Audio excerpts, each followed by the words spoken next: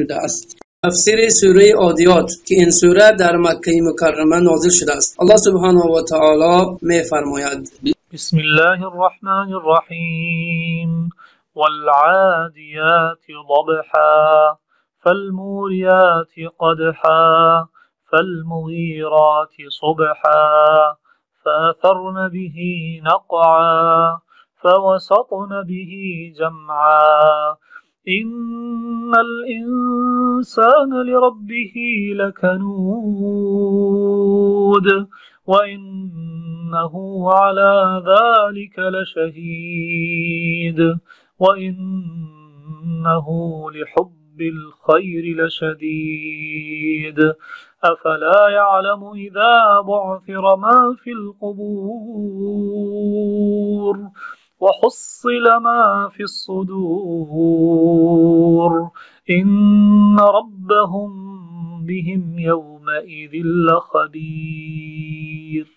به نام خداوند بخشنده و مهربان. الله سبحانه و تعالی در این سوره عادیات به ما و شما میفرماید. سوگند به اسبهای دونده که نفس زنان به سوی میدان پیش میروند. سوگند ба аспҳои даванда ки нафасзанон ба сӯи майдон пеш мераванд ва савганд ба аспҳое ки дар асари задани сумашон ба сангҳо оташ меҷаҳонанд. пас савганд ба аспҳое ки бомдодон ҳуҷум оварданд пас дар он ҳангом гарду ғубор барангезанд. пас савганд ба аспоне ки бомдодон ҳуҷум оварданд пас дар он ҳангом гарду ғубор барангезанд ва дар он ҷо ҳамаро дар миён гиранд. ҳамоно инсон дар баробари неъматҳои парвардигораш бисёр носипос аст ва бегу гумон ӯ дар ин носипосӣ гувоҳ аст ва ҳамона ӯ алоқаи фаровон ва шадиде ба мол дорад. Оё ӯ намедонад ки чун он чи дар гурҳост ҳама зинда ва барангехта шаванд ва он чи дар дилҳо ҳаст ҳама ошкор гардад. Яқинан дар он рӯз парвардигорашон ба вазъу ҳоли онҳо комилан огоҳ аст. Аллоҳ таборак ва таоло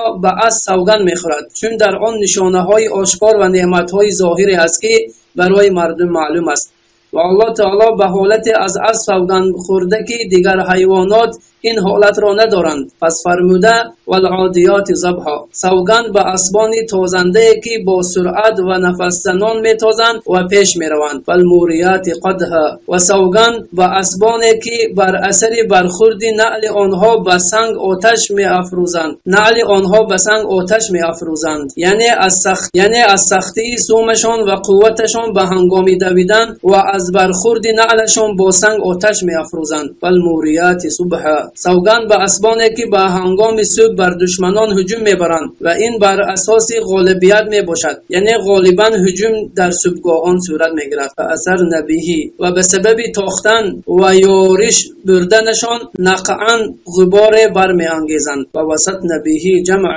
ва ҳамроҳ бо ассавор вориди ҷамъи душманоне мешаванд ки бар онҳо ҳуҷум бурданд ва он чи бар он қасамёт шудааст аз фармудаи аллоҳ инна линсана лираббиҳи лакануд яъне бегумон инсон аз адои ҳуқуқи илоҳӣ ба шиддат мумоният меварзад. Пас табиати инсон тамбалӣ ва ҳуқуқи молӣ ва баданиро ки бар ӯст адо намекунад. Магар касе ки аллоҳ ӯро ҳидоят кунад ва ӯро аз ин васф ба сӯи васфи ба ҷо овардани ҳуқуқ берун оварад. Ва иннаҳу ала залика лашаҳид. Инсон бахилӣ ва носипосии худро медонад ва бар он гувоҳ аст ва онро инкор намекунад. Чун ин чиз равшан ва возеҳ аст ва эҳтимол дорад ки замир бар аллоҳ баргардад. Яъне инсон дар ҳаққи парвардигораш носипос аст ва аллоҳ бар ин носипосии ӯ гувоҳ аст. Пас дар ин ҷо инсон бо шиддат мавриди таҳдид қарор гирифтааст ва ба вай ҳушдор дода шудааст ки аллоҳ бар ӯ огоҳ аст ва ба вай ҳушдор дода шуда ки аллоҳ бар ӯ огоҳ аст. Ва иннаҳу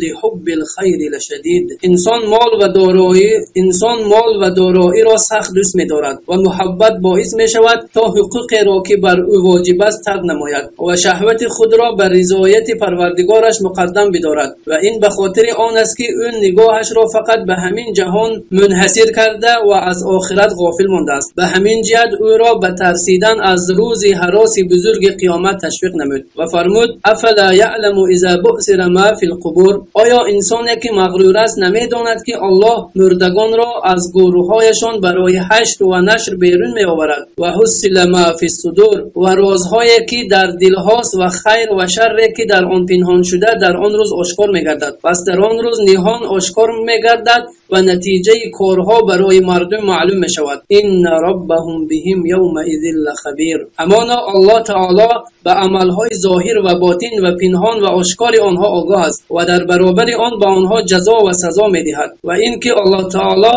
дар ҳама вақтҳо аз амалҳои бандагон огоҳ аст. Аммо бо таври хос фармуд дар он рӯз аз онҳо огоҳ аст чун мақсад ҷазо додан бар амалҳо аст. Амалҳое ки аз доираи илм ва огоҳии аллоҳ хориҷ набудааст